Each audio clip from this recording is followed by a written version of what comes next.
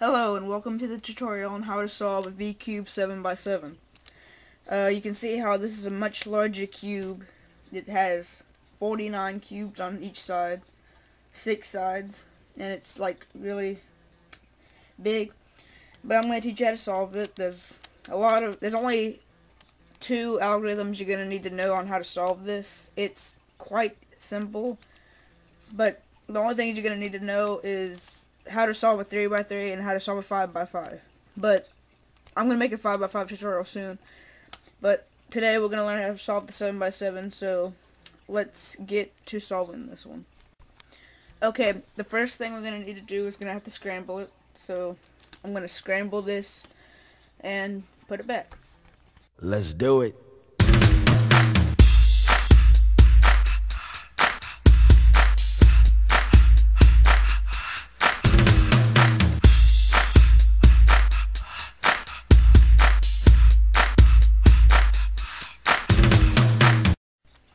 Okay, you can see how I just got done scrambling the 7x7 uh, V-cube.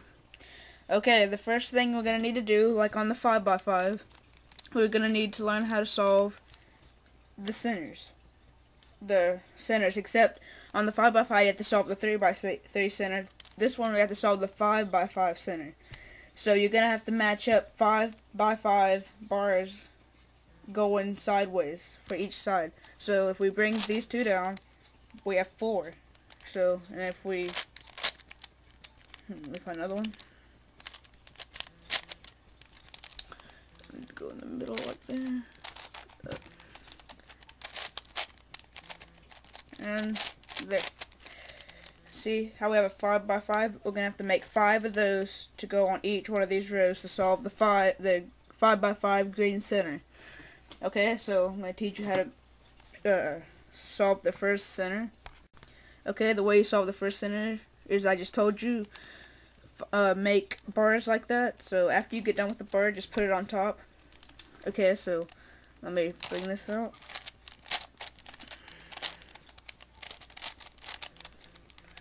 See how I made 4x4? This is quite simple. You're just going to need a little bit of common sense to make these. The first two centers are easy. So I I'm going to show you how to do the second center of this. Bring that up. We have two of them. Then bring that. Gonna have to bring that down. Bring that down. Turn, turn. Yeah. Okay, got two of them up there. Turn it like that. And we are going to then going to do this.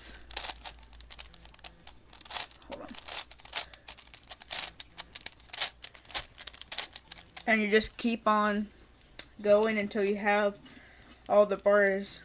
And I'm going to show you how to do some of the bars. Okay go like that. Bring that okay. Would be, be to do.